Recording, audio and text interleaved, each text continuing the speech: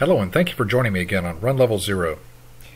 Today we're discussing Makulu Linux XFCE Build 5.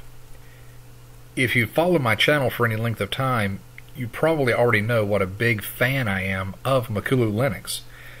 In my opinion, this is really Linux for the users. The developers at Makulu do an excellent job at, of listening to and responding to their users' input and what, their users really would like to see in the, in the Makulu Linux distribution. The developers at Makulu, Jacques has a really clear idea of where he wants Makulu to go, and he, he just is very responsive to his users, and that, that has so impressed me that that I've never seen a distribution that takes those those types of steps, those types of measures to implement what their users want into the distribution and to do it so quickly. So, what's new in Makulu Linux 5? Well, Makulu Linux, if you're not familiar, is a Debian base is based on Debian testing. It's a rolling release distribution, which means once you install it the first time, you should never really have to reinstall it. You you should always, by virtue of accepting the regular updates, you should never have to reinstall the system. You'll always have the latest, greatest version. It is available only in 32 bit at this time. And with Build 5, we're seeing a lot of new implementations. Most notably, in my opinion, is the implementation of the Makulu Linux software repository. Now, Makulu Linux 5, as with the other versions of Makulu Linux, is built around the same excellent set of applications, the, the same excellent software choices. And these include some uh, features that are really not common to other Linux distributions.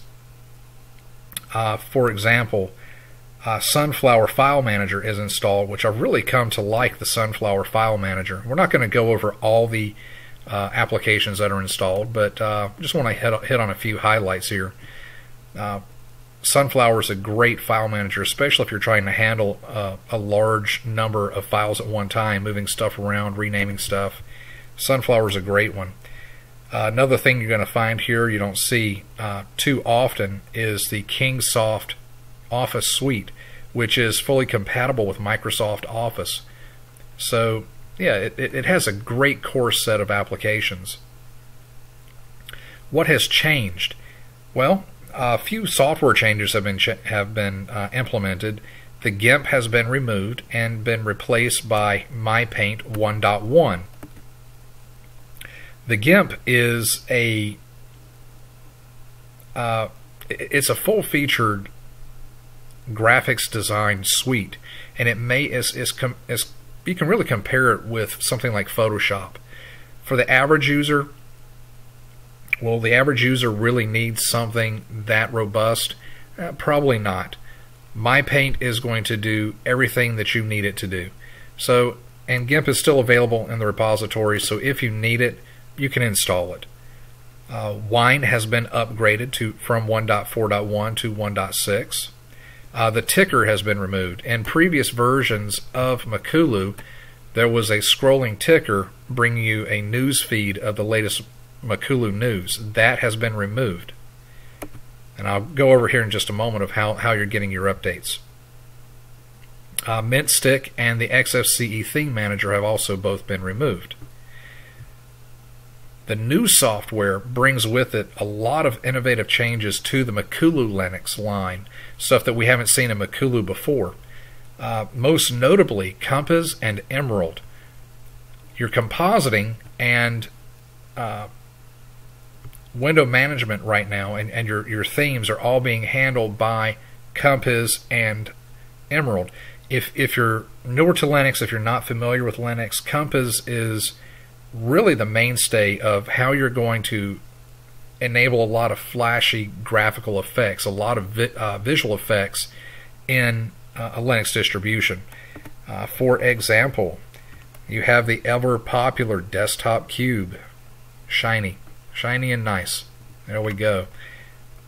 Lots of great transparencies, the wobbly windows, a lot of good uh, visual effects being implemented here. So, you know, I really like to see that. This is a lot of spit and polish that has been added on top of what was already a great Linux distribution.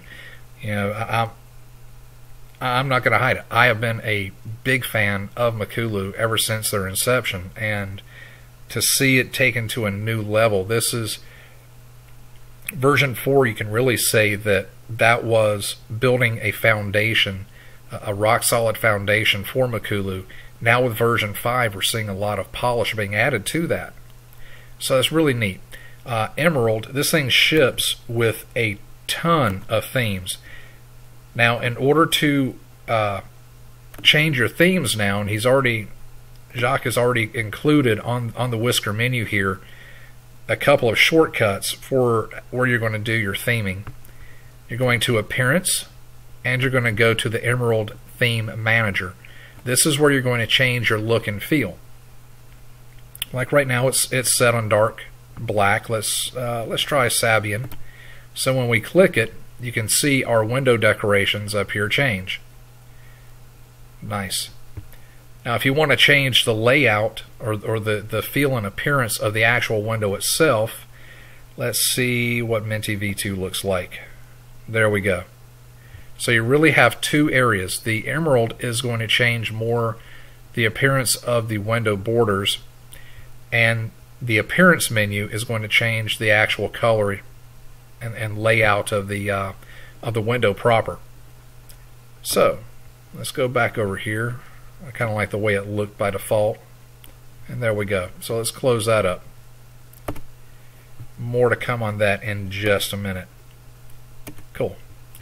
Okay, so uh, what else do we have? Screenlets has been installed, as well as Iceweasel, and he says a lot of uh, Makulu specific packages. The installer has also been addressed. There were a lot of users that complained about the Makulu Linux installer. It was text based and uh, really needed some some tweaks and some work there. Well, they they did a great job with the installer. When you run this in the live version, there is a shortcut on the desktop to a YouTube page, a video that, that walks you through the installation process. Now, the installer is in a GUI now, but I do recommend, especially if you're a newer user, I recommend that you follow along with that video installation process, uh, just at least for the first time to get you through installing Makulu. There are a lot of options there, and to really take advantage of those to avoid some confusion, I, I really support you using that video. Okay, moving along. One of the things I said, one of the major uh, implementations in Makulu Linux 5 is the fact that they have their own repositories. While I, like seeing innovative software like the Kingsoft Office Suite uh, made available in a distribution, one of the issues that you run into is updating that software because it's not readily available in the base systems repositories. For example, uh, Makulu is built on Debian. You're not going to find Kingsoft in the Debian repositories. So, what happens when that your current version becomes depreciated and you need updates? You're not going to get those updates through the repo. You'll have to go out and either manually update it or install a newer version of Makulu. By virtue of Makulu having their own repositories now, Jacques can really bring you those updates with no problems. So you're not going to have an issue now with keeping this uh, sunflower or Makulu up to date. It's it's really going to not be an issue anymore. Furthermore, he can now bring you uh, even more newer software and just push those updates to you through the repositories through the regular update cycle. Uh, with those updates, with the repositories, you're also going to be able to, to receive new themes. I mean, folks, remember, we just looked at this, but let me pull it back up again. Emerald here. There are a ton of themes already installed, and each one of these themes is fully customizable. For example, if you go into the we're, we're on the dark black now. If you go into edit theme, you can you can make this thing look like anything you want to. Emerald is, is a very robust system themer. Uh, but there, there are a ton of them in here. And what you're going to see when you go through your updates, see, I have updates waiting now. Uh, let's pull this open and see if there's anything in there. That's uh, going to take a minute. I just updated it last night. There are more coming in. But through this update manager, you're going to see uh, Makulu Jacques can really push to you uh, even new themes and, and new icon packs. And I saw that come in when I did the updates last night. Speaking of updates, since the release of the installation uh, DVD, there have been several major updates that came out. So, just a note when you install Makulu to your hard drive or into a VirtualBox, the first thing you want to do is run the update manager. Before you even launch a web browser, before you start looking around, go ahead and open up your uh, your update manager. It's down here in the taskbar, and apply all the updates. There, there, are several important fixes that are going to come with that. And I noticed last night there was a new theme that came. This is also how Jacques is going to bring to you important updates. You're going to find that new uh, files start appearing on your desktop. This is going to happen with the Update Manager. For example, here are some important news releases that came with the last update. Open it up here and show it to you.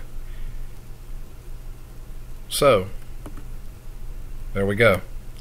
He walks you through how, how to how to fix a couple of issues, um, how to set up virtual desktops, and we'll show you that here in just a minute.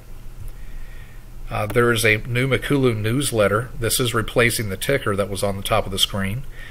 There's also a, a survey out there. Uh, they're doing a survey to, to try to just get some customer feedback and see what you think of Makulu, what you think of the installer, and that sort of thing. It doesn't take long to do the survey, and I would encourage you to do that. As well as there's an introductory video to Makulu. The desktop layout is still the same standard uh, traditional desktop layout. Uh, the wallpaper, this nice clock, and the uh, the the inspirational quotes are brought to you. Uh, let's pull it open here.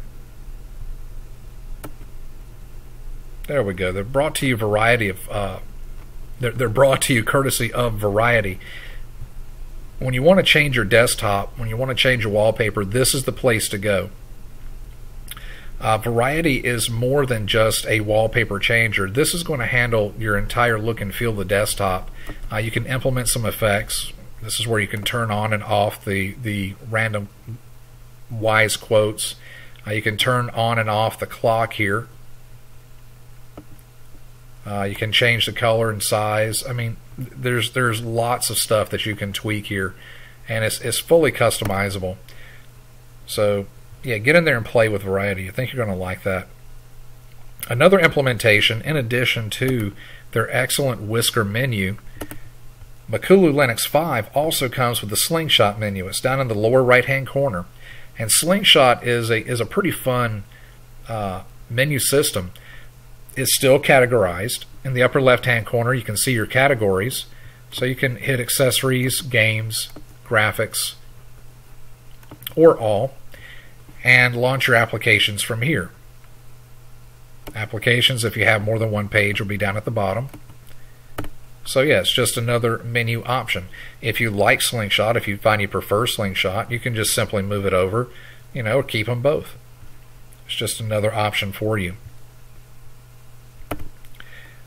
A very important update that came with that first up, uh, when you first install and you run your updates for the first time, uh, prior to that, there is no uh, launcher in the menu for your uh, Compiz configurations. So when you run your updates for the first time, you're going to get Compiz Manager added. This is where you're going to control your graphical effects. If you're not familiar with Linux, if you're not familiar with Compiz, this is where you're going to control all this eye candy. One of the first things you're going to want to do if you want to get that nice uh, desktop cube effect by default, this only has the one desktop. So you're going to have to uh, enable more desktops. And that's very easy. We're going to go into General Options, Desktop Size, and this slider, uh, Horizontal Virtual Size, this is where you're going to be able to add more desktops. So if I take it up to 6, now you see I have 6 desktops. So you're not just limited to 4 desktops. So that's pretty cool. All right. Makulu Linux XFCE5. What do I think of it? This is an awesome distribution for the new Linux user. We're not going to go through all of the all the applications. It's yeah, we, we went over the, the major changes that have, have that have gone into it. You you still have Play on Linux, you still have Steam installed. For those of you who like to uh, like to get your game on, you know, graphics, the GIMP being replaced by MyPaint, the average user, you know, MyPaint's going to do everything that you need it to do. Um, a note about the the applications here: you do have Iceweasel. Chromium is the default web browser. If you are running this in a virtual machine, you see that you have another launcher, Chromium 4 VirtualBox. This is the one that you want to use if you're running this in a virtual. In fact, I would go so far as to say replace it. You can uh, replace this launcher. Go ahead and remove it because that launches the standard Chromium. If you if you launch the standard Chromium browser in a VirtualBox, it will freeze the machine for my VirtualBox users out there, this is very important to distinguish between these two. Uh, you want to use the Chromium 4 VirtualBox. If you use the standard launcher, it will freeze your system. So, yeah, just make that distinction, make that note. Well, that's really about it, folks. I'm really impressed by Build 5 of Makulu Linux XFCE. It takes the already great work that has been Makulu Linux XFCE4 and just adds this new layer of functionality, this new this new polish on top of it. Uh, by implementing Compiz and Emerald, you're taking what was already a great system and making it a beautiful system, one that uh, that you can really you know, be proud of. I mean, I, think that that Jacques has done some excellent work here, and uh, download it, give it a try. Let me know what you think. Well, thank you for joining me again today. I hope to be with you soon for another video.